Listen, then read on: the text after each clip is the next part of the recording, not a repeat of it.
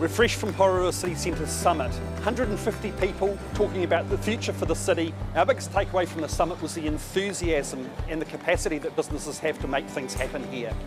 There's huge energy, there's huge determination and a huge amount of collaboration here in Porirua. Porirua is a place for businesses of all sizes. Major investments happening in the city. We've got large businesses moving in, we've got small businesses establishing independents and artisans, it's a perfect spot to be part of.